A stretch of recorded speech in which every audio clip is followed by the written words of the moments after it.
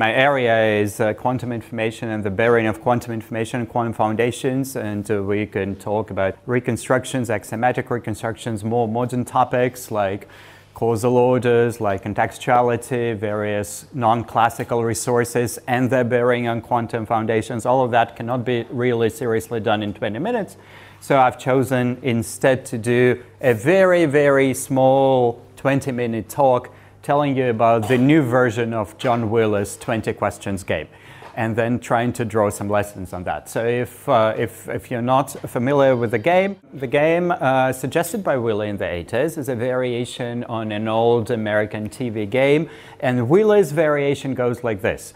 Um, there are players in the room who do not agree to choose any word in advance because in the original game, uh, they agreed to choose a word when one player was out of the room. Now, there are players in the room, they don't choose any word, then the main guy comes in, girl, and starts asking binary questions. Uh, is it, uh, does it have legs? Uh, somebody says yes or no. Can it fly? Somebody else says yes or no, and so on and so forth. People take more and more time to answer the question, and at the end, after 18 or 19 questions, the main player says, well, it should be a cloud. And everybody starts congratulating everybody because John Wheeler said they had not chosen a concept before, so every player had to come up with a word compatible with all previous answers and give their own answer. And that's how it happens in quantum mechanics, says John Wheeler.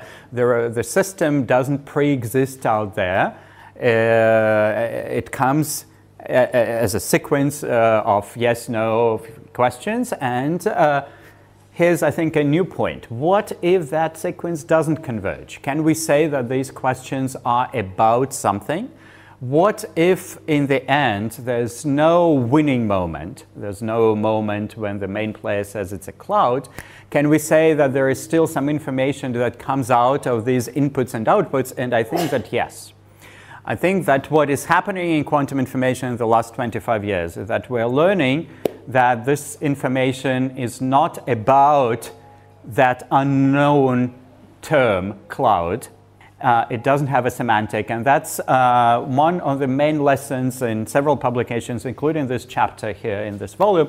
I've been trying to argue about that. So, um, the most uh, you know, simple and really paradigmatic example are Popescu-Rohrlich boxes. So let me remind you that Popescu-Rohrlich boxes are non-signaling boxes introduced in 1993, 1994 by Sandu Popescu and Daniel Rohrlich. Um, are non-signaling boxes introduced with the question of seeing uh, whether non-signaling led us directly to the Tsirelson bound. And uh, the surprising answer was that it did not. So if we only focus on inputs and outputs in the box and on the, on the joint probability distribution of the outputs given the inputs, then uh, we can actually imagine a model that uh, gives us correlations that are stronger than quantum correlations. And uh, as most of you, I guess, know, uh, these bounds the classical bound and the maximal non-local bound are polytopes, and the quantum bound here is not a polytope. It's actually not a computable bound. Uh, so that model, uh, which is now 30 years old, has given rise to a whole, whole tradition of various box models, and I'm not going to talk about others. Um, it's a part also, as I see it at least, of what can be called device independent approaches. Device independent approaches meaning that we don't know or we don't trust for some reason uh, that inside the box uh, there are, let's say, photons or such and such systems. Uh, but we still want to do physics without presuming any knowledge uh, of what exactly lives inside that box, what is doing the physical job. So we can still do it as we can do it with PR boxes without knowing what's in the box. We can talk about computing CHSH. We can talk about doing communication with these models. We can talk about properties of these maximally non-local worlds. And of course, we can, of course, we can talk about the Tsirelson bound seen from the point of view of this, of this new paradigm of quantum theory, where the Tsirelson bound is just one strange number somewhere in the middle between 2 and 4. And the question becomes why is it the Tsirelson bound and not something else?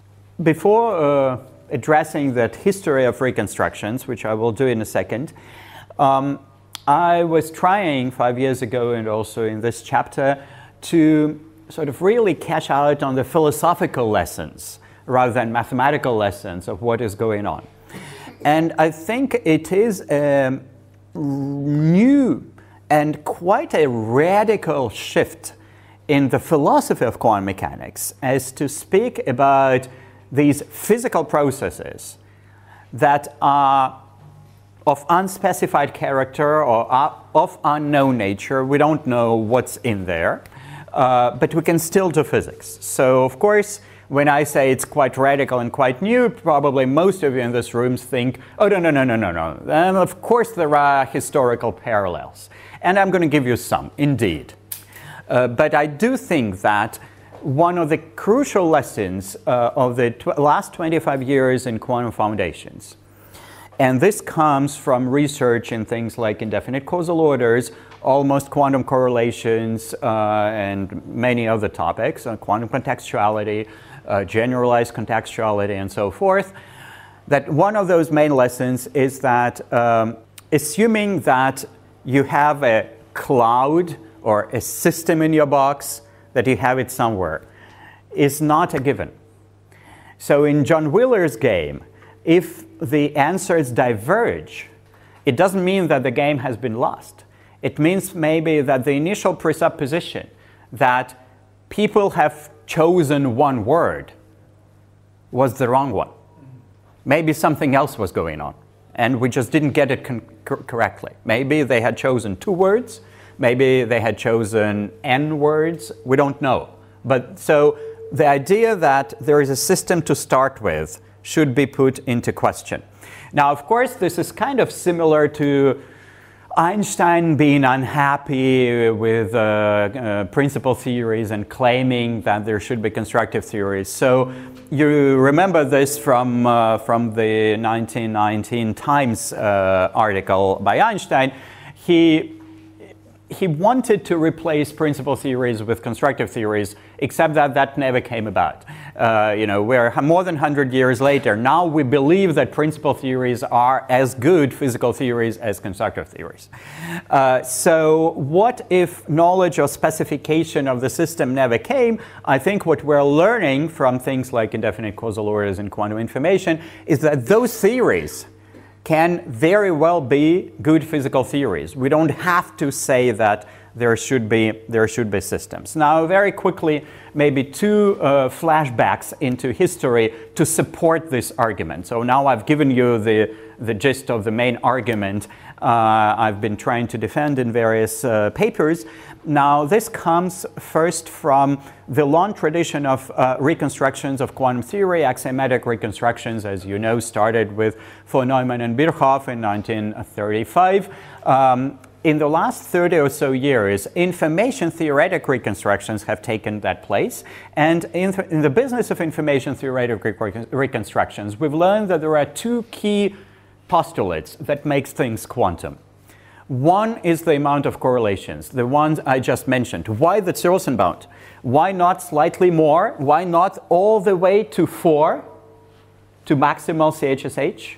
Uh, why not slightly less? Like, wh it? What principle drives us exactly into two square root of two and not something else? And there have been, of course, the best known example is information causality from Marcin Pawlowski and company uh, in 2009. There are several other examples. We still don't have a very good understanding of this, but we have now a theorem that says that whatever bipartite principle you have, so whatever principle you may want to have about Alice and Bob, it's not enough. Any kind of bipartite principle will not give you quantum theory fully. It will give you 15 sixteenths of quantum theory. We can even quantify how much. But not, so we, we know that there's something in quantum theory in quantum correlations that escapes from this bipartite view.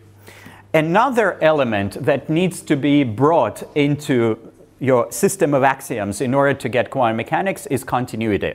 One is the amount of correlations, and the other one is continuity. Actually, if you have a probabilistic model with these two axioms, you will have quantum theory.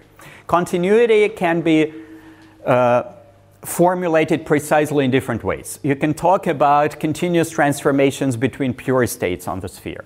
You can talk about, as Nicolas Gisin, for example, does in his recent work, about the necessity for complex numbers and not some other number field.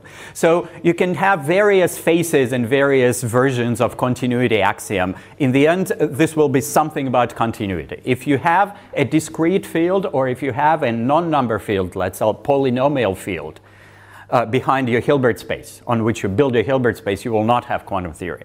So uh, these two axioms make things quantum. And I think we've learned it in the last 25 years. We've learned it thanks to all these information theoretic approaches. And now we're trying to play with these axioms. Of course, we're trying to say, well, okay, what happens if we don't have one or another, if we replace it? Um, so there is a lot of uh, game going on. There are a lot of a lot of different versions and models going on. And one of those, just quickly, the one I've been also interested in for the last uh, 10, even more than 10 years now, are indefinite causal orders. Now, um, very quickly, if you haven't heard about indefinite causal orders, the idea is to put the Alice's lab and Bob's lab not in a defined temporal order. One is before the other but in a superposition, in an order which is like a Schrodinger cat, in a superposition of orders. And uh, this can be done in several mathematical frameworks. One is called uh, the quantum switch, another one is called process matrices, yet another one is called supermaps. Uh, there are other approaches. Now, this has become quite a big uh, science area, you know, discipline within quantum information.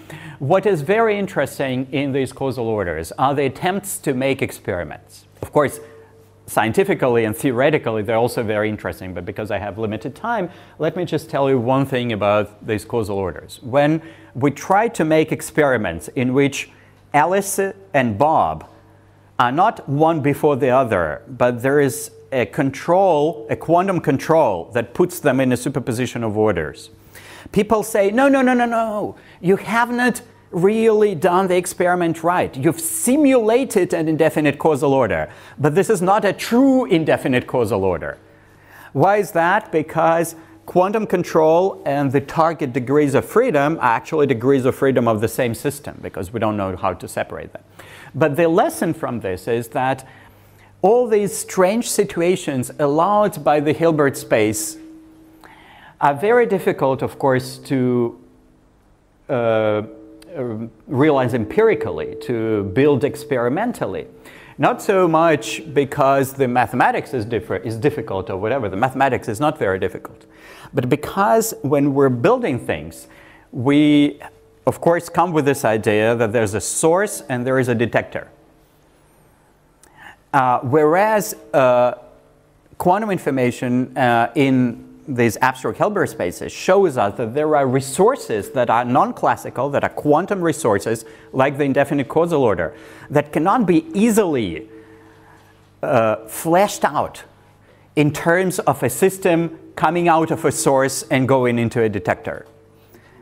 Um, that's just not the appropriate language for working with these resources. So we have today situations like also generalized contextuality situations, something called the Lugano process. So I'm not defining these things. There are plenty of things on the market which are not easy to define in the language of quantum systems coming out of sources and going into the detectors. So we start to learn that maybe that assumption also needs to be shifted to or go or shifted to the second order level. So to conclude, um, we have this, and uh, Tom Ryckman will speak right after me. We have the discussion with Tom whether Einstein always put quotation marks around real or not. And there is a letter found by uh, Don Howard, I think, uh, a letter to Schrodinger in 1935 where Einstein clearly says, I want psi to be about the real state of the real system. Although later, and Tom will show you, I guess, this, uh, Tom, uh, later he always put real in quotation marks. So when he was really careful. And this is the EPR argument. But this is an old mode of thinking about systems. For, for me, what is really interesting here is this. The word real, of course, is subject to the debate about entity realism, property realism, all those kinds of realism. But the very word system maybe has to go. So look at this. This is from Bob Coecke from also some time ago. Uh, so here you will see that uh, systems are a kind of derivative notion. Uh, we have these symbolic diagrams that describe information flow or uh, we can talk about ZX diagrams, we can talk about circuits, uh, we can talk about all sorts of diagrammatic languages, and systems are really those stuff that lives on the wires. But we don't have to start with that. So this does introduce, I think, a paradigm shift that is quite interesting and radical and comes from all this research on causal orders, uh, almost quantum correlations, and so on and so forth. So to end with Wheeler, again, I started with a game of 20 questions and then you're let me end with Wheeler, and I really admire Wheeler, who was a fantastic visionary. Um, when Wheeler said this in the early 70s, I don't think many people understood very well what he was talking about. I think today we're in a much better position to understand this. The propositions, meaning these binary propositions, are not propositions about anything. So when people say, oh, you talk about quantum information, what is information about? No, no, no, no. It's not about anything. That's a meaningless question. Um, they are the abstract building blocks. Well, Wheeler said in his time, pre-geometry, out of which reality, quote unquote, you see the Einsteinian quotation marks, is, is conceived. So um, this aboutness or semantics of information, I think, needs to go. And with that, the very notion of system that is somehow predefined, presupposed, needs to go. And that's what, well, this is for me one of the interesting lessons of the last 25 years of quantum information. Thank you.